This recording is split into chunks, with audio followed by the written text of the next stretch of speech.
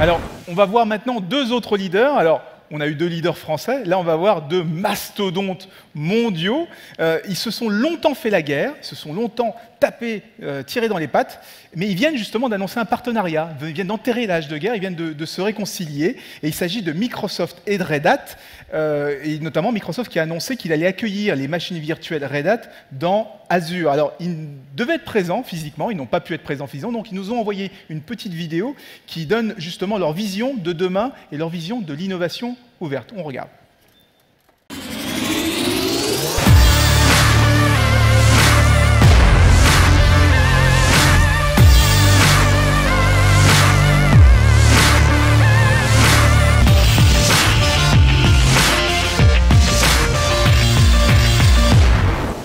Bonjour, and welcome to the Paris Open Source Summit.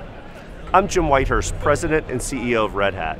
And on behalf of Red Hat Associates worldwide, and particularly here in France, we'd like to welcome you to the event. Open source is truly exploding. As users are starting to drive their own innovation agendas, areas like big data, mobile application, and containers are happening first in open source. Red Hat's role, our mission statement, is to be the catalyst in communities of contributors, customers, and partners building better technology the open source way.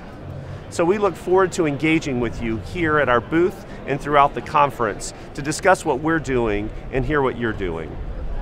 Red Hat's been in France for almost 15 years, and we're excited to see the progress of open source here.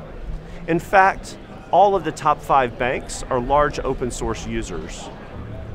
We have enterprises like Amadeus, who are building their entire new cloud native application platform on Red Hat technologies.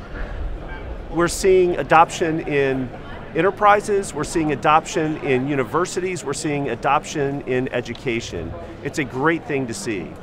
So we hope you'll come and visit us at our booth so we can continue the dialogue. And again, please enjoy the event. Welcome.